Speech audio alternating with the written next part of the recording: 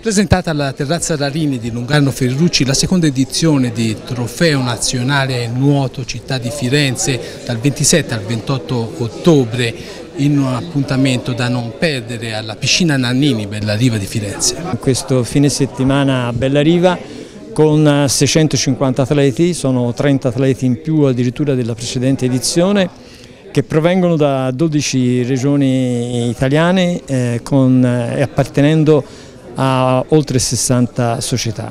Ci sono presenti in vasca oltre 50 medaglie internazionali delle quali fra l'altro 4 medaglie dei ragazzi che l'hanno ottenute alle Olimpiadi, quindi una manifestazione di grande rilievo.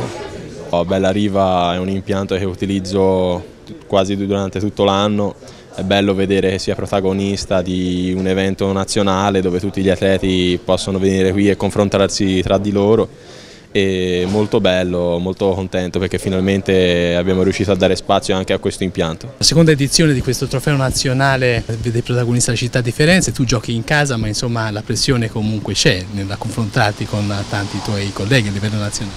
Sì sì, è sempre un piacere gareggiare qui in casa è la seconda edizione quindi è importante dare continuità a questo meeting.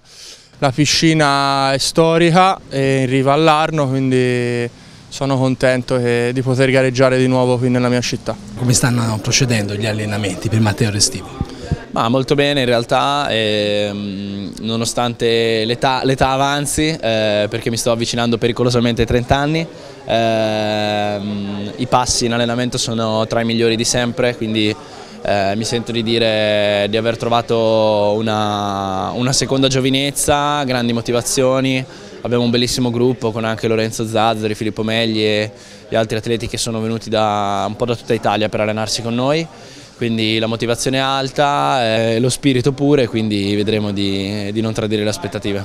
Gli allenamenti vanno bene, sono tornato ieri sera da Budapest, ho finito il allenamento, infatti sono stanco morto e, però sì, la preparazione sta andando avanti nel migliore dei modi in previsione olimpica.